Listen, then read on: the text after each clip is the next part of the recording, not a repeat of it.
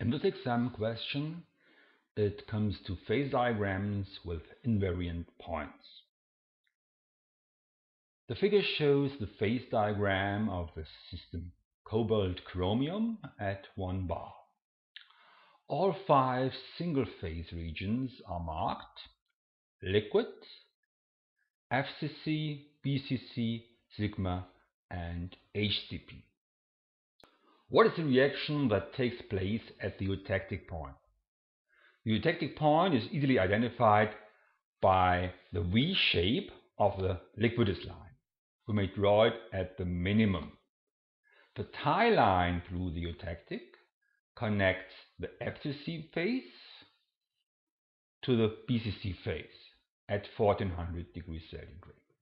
The eutectic reaction is melt decomposes at 1400 degrees centigrade into solid FCC and solid BCC. What is the reaction that takes place at the eutectoid point? A eutectoid point, like a eutectic, shows a V-shaped structure of a binodal curve. However, the binodal does not separate a homogeneous liquid phase, but a homogeneous solid phase which decomposes into two other solids. This structure can be found here in the phase diagram. The BCC phase will separate at about 1270 degrees centigrade into FCC phase and sigma phase.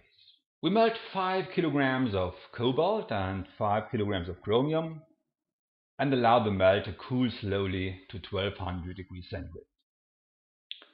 What phases are present in our system? The mixture corresponds to a mass fraction of 0.5 at 1200 degrees centigrade. The state of our system thus corresponds to the marked red point here which is located in the heterogeneous area. We can draw a tie line through the point. This connects the FCC phase with the sigma phase. It is therefore a heterogeneous mixture of solid FCC and solid sigma.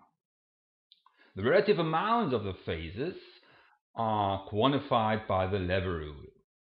The left lever arm has a length of 11 and the right lever arm has a length of 3. So this corresponds to the mass ratio of sigma phase to FCC phase 11 over 3.